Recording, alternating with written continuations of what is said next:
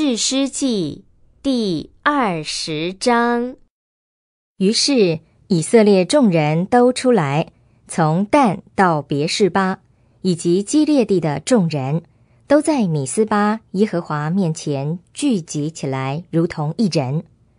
全民的领袖，就是以色列众支派的领袖，都站在神子民的会中。拿刀的步兵共有四十万人。以色列人上到米斯巴来，便雅悯人听见了。以色列人说：“这件恶事是怎样发生的？你们说吧。”那利未人就是被害的妇人的丈夫，回答说：“我和我的妾到了便雅悯的基比亚，要在那里住宿。基比亚人民起来攻击我，在夜间包围我住的房子，攻击我。”有意杀害我，他们把我的妾侮辱致死，我就把我的妾切成筷子，送到以色列的各地业，因为基比亚人在以色列中行了极羞耻的恶事。以色列人呐，你们都要说出你们的意见，也要在这里提出你们的对策。于是众人都起来，如同一人说：“我们当中。”谁都不回自己的帐篷，谁都不回自己的家。现在我们要这样对待基比亚人，我们要照着所抽的签上去攻打他们。我们要从以色列各支派中，每百人抽取十人，每千人抽取百人，每万人抽取千人，好为人民运送粮食。等他们到了便雅悯的基比亚的时候。就可以照着他们在以色列中所行的一切羞耻的事惩罚他们。于是以色列众人彼此联合，如同一人，聚集起来攻击那城。以色列各支派打发人到便雅悯的各家去，说：“你们中间怎么发生了这样的恶事呢？现在你们要把那些人基比亚的无赖之徒交出来，我们好处死他们。”从以色列中除掉这恶，只是便雅悯人却不肯听从他们的兄弟以色列人的话。便雅悯人从各城出来聚集，往基比亚去，要与以色列人交战。那时，便雅悯人从各城里被数点的共有二万六千拿刀的，另外被数点的还有基比亚的居民。共有七百精兵，在这些人中，还有七百精兵是善用左手的，个个都能用机弦抛石，毫发不差。除了便雅悯人以外，以色列人被数点的共有四十万拿刀的，个个都是战士。以色列人就起来上伯特利去求问神，说：“我们之中谁应首先上去？”与便雅悯人交战呢？耶和华说：“犹大应首先上去。”以色列人早晨起来，对着基比亚安营。以色列人出来要与便雅悯人交战。以色列人在基比亚面前列阵，等待他们。便雅悯人从基比亚出来，那一天使二万二千以色列人倒地身亡。众民就是以色列人都奋勇起来，又在头一天列阵的地方列阵。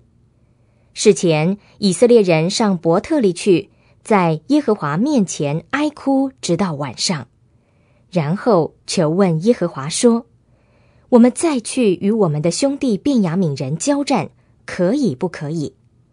耶和华说：“你们可以上去攻打他们。”第二天。以色列人就前去攻打便雅悯人，便雅悯人第二天也从基比亚出来迎战以色列人，又使一万八千以色列人倒地身亡，都是拿刀的。以色列众人就是全体人民，又上到伯特利，坐在耶和华面前哀哭。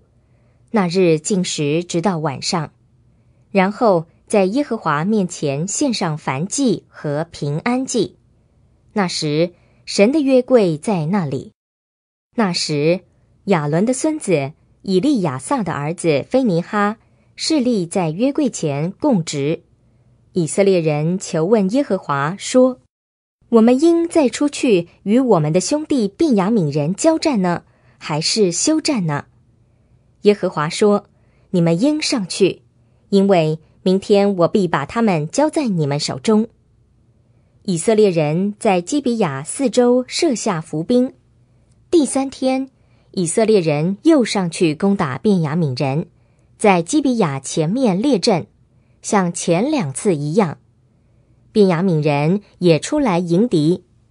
他们被引出城外，在两条大路上，一条通往伯特利，一条通往基比亚，像前两次一样，动手杀敌，在田间杀死以色列人约有三十个。便雅悯人说：“他们仍像前一次一样败在我们面前了。”以色列人却说。我们逃跑吧，引他们离开城市，出到大路上来。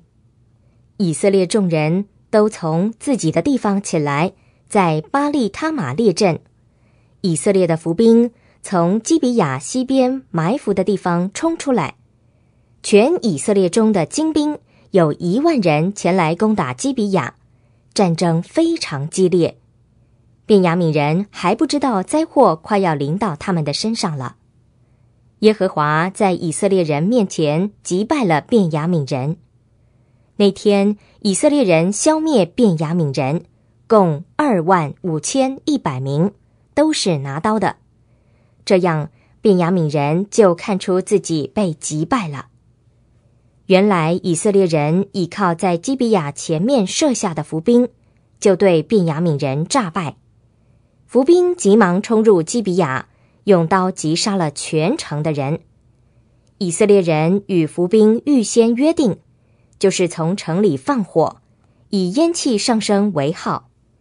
以色列人在战场上撤退的时候，便雅悯人就动手杀人，刺死以色列人约三十个。